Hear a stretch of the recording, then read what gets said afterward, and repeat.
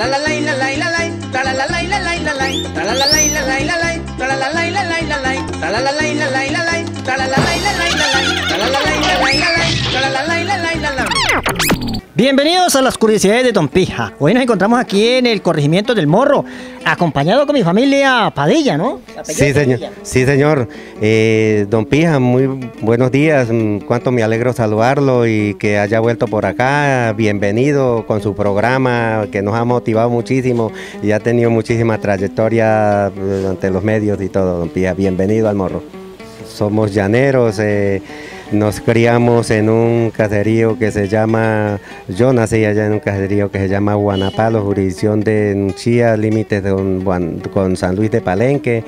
Eh, allá nos formamos, nos criamos allá y así fuimos formando nuestra trayectoria y nuestra familia y todo. Me habla de Nunchía, del municipio de Nunchía. Sí, señor, claro, nosotros pertenecemos a Nuchía, somos natales de Nuchía. Pues la verdad yo nunca he vivido allá en el pueblo, en el, puro en el municipio, allá en, el centro, ¿no? Porque siempre nos criamos allá y yo por allá donde hemos tenido nuestras cosas, nuestras fincas, y ahora pues Después que falleció mi padre, entonces nos trasladamos para una vereda que se llama Barranquilla, más arriba, aquí ya en la marginal de la selva, ahí antes de llegar al Pauto. Y ahí tenemos nuestras cosas. Bueno, yo lo veo que está con el, con el cuatro en la mano, usted como que es como cantante, ¿cierto? Pues sí, a ver, a mí la música es la para mí es como la sangre que corre por mis venas. Yo donde siento una cuerda, ahí me paro y me tomo una cerveza y escucho cantar una canción. Eh, sí. Bueno, por aquí me encuentro por aquí con la nieta que nos acompañó en el, en el, en el programa de Don Juan. Bienvenida a las curiosidades de Don Pija. Buenos días, muchísimas gracias. Bien, súper bien, un poquito engripada, pero bien, ahí vamos, súper. Pero yo cuando las vi, la, eh, vi en el, en, el, en el, programa de, de, de, su abuelito, eh, no estaba engripada, pero hoy sí está como... sí, sí, un poco, ya, ya, ya me avanzó un poquito la gripa, pero bueno, igual feliz porque acompañé a mi abuelo, que no se va a eh, emocionar acompañando a un pariente, ¿no? Claro, no, y yo veo que usted tiene las maracas en las manos otra vez, Sí, sí, aquí acompañando a nuestro compañero y vecino.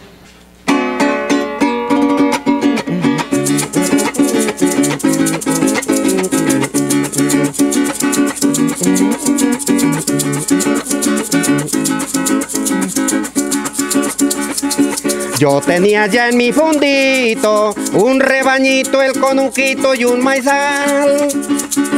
Yo tenía ya en un fundito un rebañito, el conuquito y un maizal. Pero el día menos pensado mi mujer me dejó solo y no ha vuelto a regresar. No sé cuál sería la causa si vivíamos muy felices para esa decisión tomar. Llevado por la tristeza, hay la tristeza, la angustia y la soledad. Llevado por la tristeza, hay la tristeza, la angustia y la soledad.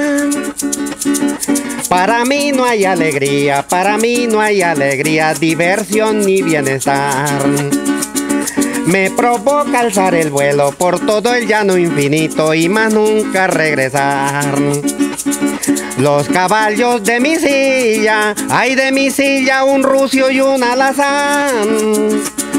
Los caballos de mi silla, hay de mi silla un rucio y un alazán.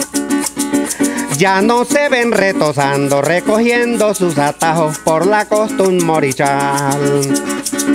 No se oyen pitar los toros por allá en la lejanía, ni el canto de alcaraván.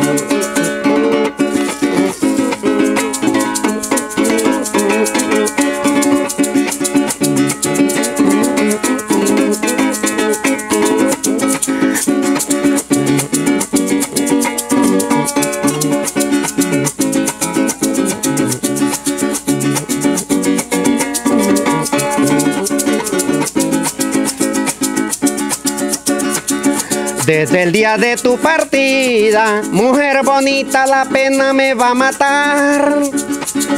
Desde el día de tu partida, mujer bonita, la pena me va a matar. No ha vuelto a salir el sol, ni la brisa mañanera despeinando el pajonal. No cantan los pajaritos, la paraula tallanera, el carrao ni el cardenal. En las tardes de arreboles, ay de arreboles, yo la miro en el corral. En las tardes de arreboles, ay de arreboles, yo la miro en el corral. En la barranca del río, en la barranca del río, en el piso y el arenal. Y es cuando más me atormento, de tarde y de mañanita, y cuando el sol se va a ocultar. De tarde en el caserío, en el caserío yo me pongo a contemplar. De tarde en el caserío, en el caserío yo me pongo a contemplar. El canto del arrendajo, el canto del arrendajo, el lorito y el turpial. Y es cuando más me atormento, de tarde y de mañanita, y cuando el sol se va a ocultar.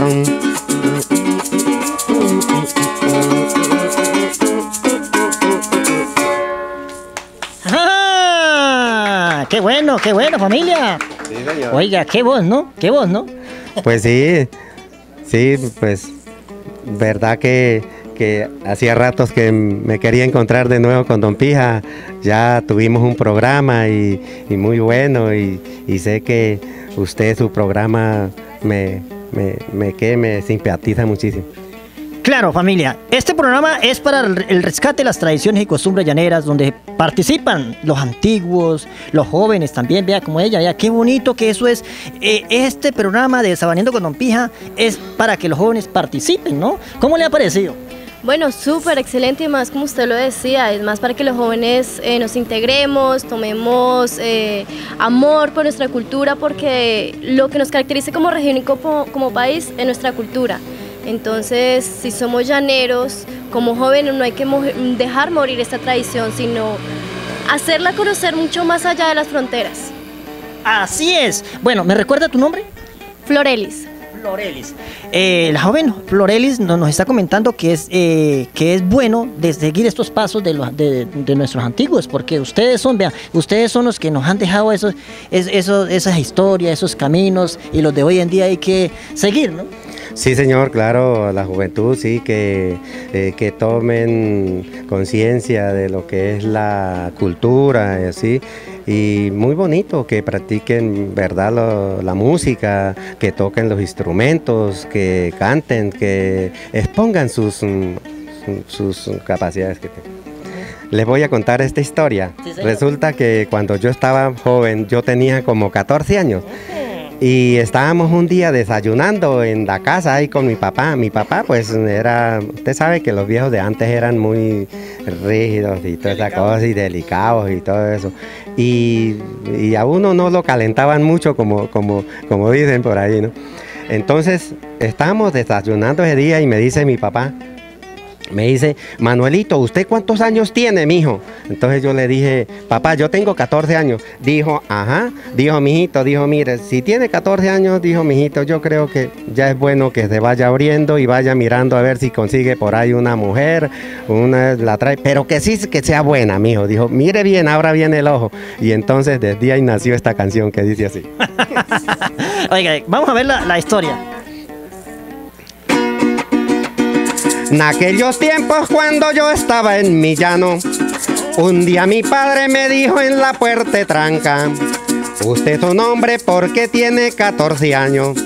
Y si usted quiere, busca una novia y se casa, que sea pobre pero buena y se la trae para la casa. Vendí un caballo, tres toros y dos novillos, 40 chivos, 100 gallinas y tres vacas. Y salí montado sobre un caballo con rumbo al pueblo la primer noche de Pascua y cuando llegué enseguida me metí en un baile de arpa. Yo me vestí más o menos de pantalón y camisa, de sombrero y alpargata. Lo malo era la camisa, que me quedaba bien ancha. Me parecía un palillo metido en una busaca. Como ya estaba prendido, cuando reventó el joropo, saqué a bailar una muchacha y le dije en el oído, me gusta porque eres blanca, si tú te casas conmigo te llevo en mi potro en anca. Ella me dijo, usted si está bien quemado, si estás pensando que yo soy de las muchachas, que en ese llano cocinan con pura leña. Y la candela sube hasta el techo de la casa, jalan machete y ordeñan y beben agua en camasa. Si fue que vino que alguien lo mandó, yo le aconsejo que se busque otra más gafa, porque conmigo perdió el saco y los cangrejos. Y mujeres yo sé que no le hacen falta porque vive con las burras, las cochinas y las vacas. Pero como yo tenía un frasco de agua compuesto con hoja y flor de albahaca, con palo tal y cruceta, con cayena y otras matas, medio frasco de colonia y el corazón de una rata. Del frasco eché cuatro gotas en cruz sobre mi pañuelo y lo dejé sin la tapa. Al rato vino y me dijo, no sé qué es lo que me pasa. Me siento como mareada, acompáñame a mi casa. Uy, uy, uy.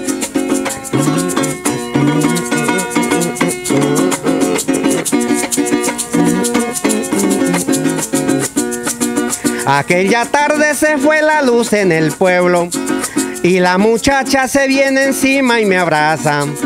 También me dijo si no quieres regresarse.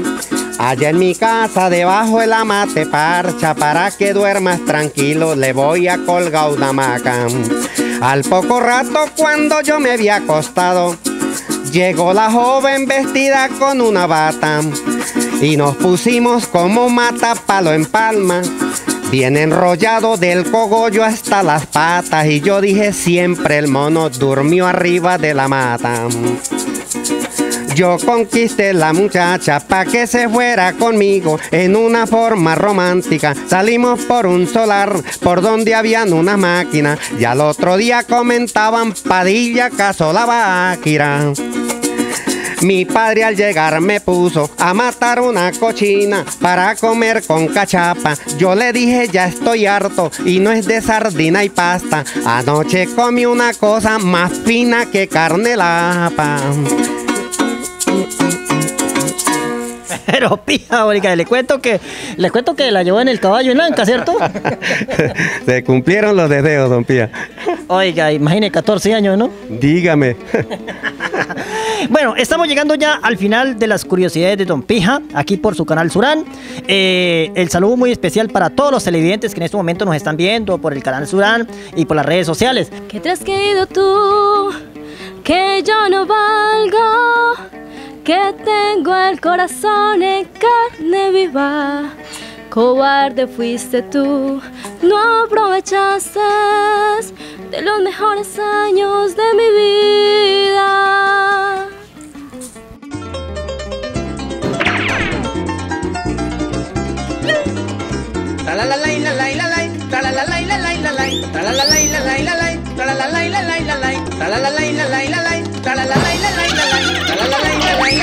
Sí, enviarles un saludo a todos los televidentes y a todos los mm, niños, eh, los jóvenes que sigan adelante, que eh, saquen adelante la cultura, la música sobre todo, es muy bueno y, y que difundan esas mm, tradiciones de la vida. Bueno, eh, ya saben, pendientes con Don Pija, eh, agradecerle que usted nos dé esta oportunidad. Y nada, muchachos, eh, firmes con nuestra cultura y, y nuestra esencia como jóvenes también. Así es. Bueno, para despedirnos, ¿nos va a cantar la última canción para despedirnos? Bueno, sí, cantemos. Sí, cantemos otro, a ver. Bueno, Sí. a todos los televidentes, nos vemos en el próximo programa de Sabaneando con Don Pija por su canal Surán.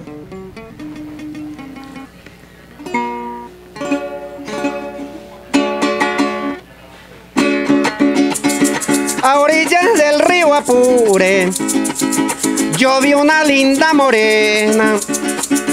A orillas del río Apure, yo vi una linda morena. Por ella mi corazón, por ella mi corazón está sufriendo una pena.